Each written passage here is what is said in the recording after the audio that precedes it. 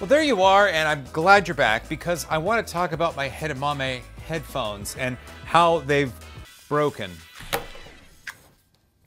Oh my god. It's sad, right? My 3D printed headphones have experienced a failure. Now, before we go into this, I want to make sure that I tell you it is not a failure of the model. It's me.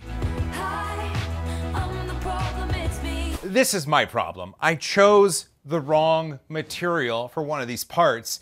And I think it's very valuable information to share with you. My mistake is going to lead to hopefully better parts in the future for you and for me.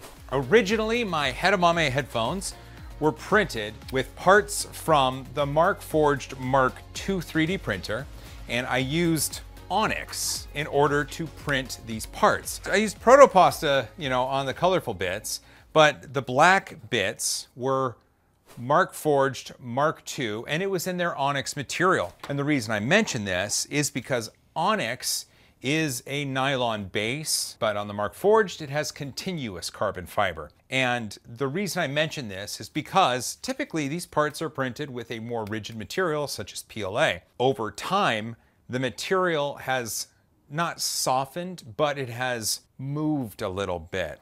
And I say this because this sort of apparatus right here should be very hard to click back and forth because this is what's holding this headband together. It should be more akin to that level of pressure, but it's not. And it's because this piece right here is printed in that onyx material and over time and over usage has made it migrate slightly. Let's get this all taken apart so I can give you a really good demonstration.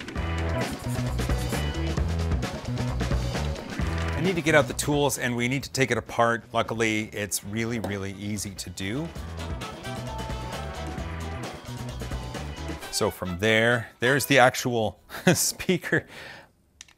So when we talk about carbon fiber nylons, especially materials from Markforged, such as their Onyx, they are fantastic for jigs, uh, assembly lines. It's a nylon base and it has carbon fiber in it to make it stiffer. That nylon makes it nice and strong. So if you think about it in manufacturing, it's a wonderful material to use for all of that when it's fully supported. That's the key. Here, in this Headamame headphone, it wasn't fully supported. And that's the issue, and that's why it migrated over time, and that's why it failed. It's not a failure in the material, it's a failure in the material choice. And the person that made that material choice is me. The problem, me.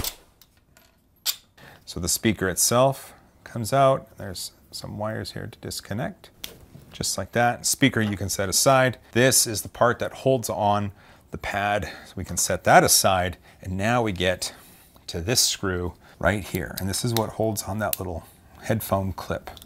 Out, yeah, just like that. So this is it. This piece right here, this is where it failed.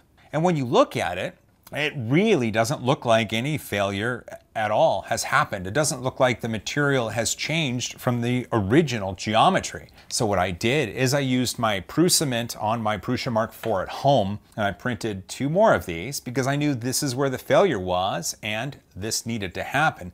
Let me go grab those and show you just how different the geometry is here versus a brand new one. Hold on. So here they are. I'm gonna take one of these and I'm just gonna put it next to it right here. I'm gonna get you close up because I really want you to see the difference. It's staggering. This is gonna be the new one. This is gonna be the old one. Look how far that old one has moved. That is crazy. What? That is absolutely bonkers. So here's the real test. Now remember, this right here is how it is right now. Really easy to pull in and out, really floppy, comes right out. So now let's take this one, let's take a new one, let's slide that in. Oh. Yes! That's awesome!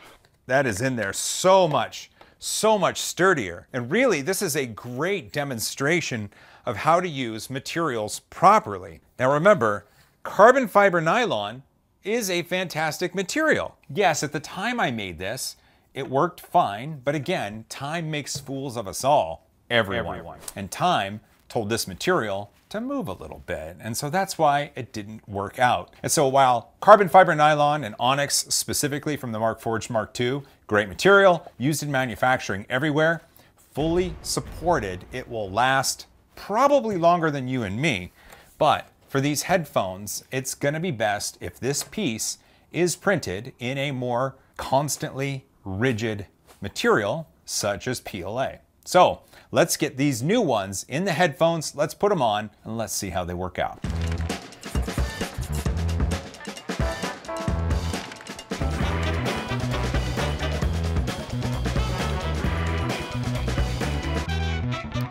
All that's left to do is uh, throw these away, I guess, and then assemble these. So, oh, it's so much better. Look at that. They hold on steady and they don't fall off. Yeah, okay. Ha ha ha. Yes. Oh, this is so good. And just like that, my Headamame headphones are better and back in service. And the reason is because we've properly chosen the material for the application. That's all it took. Yes, carbon fiber nylon is cool, but you have to use it the right way or else it's gonna look a little lazy and get out of shape. You wanna keep your materials nice and fit and in shape. Well, I guess now all that's left to do is close this out. If you've made this fire awesome, don't forget to hug each other more, fight for a cause you believe in, find the place to plug this in, and as always, high five. All right, I'm gonna listen to some sweet music. iPhone? No!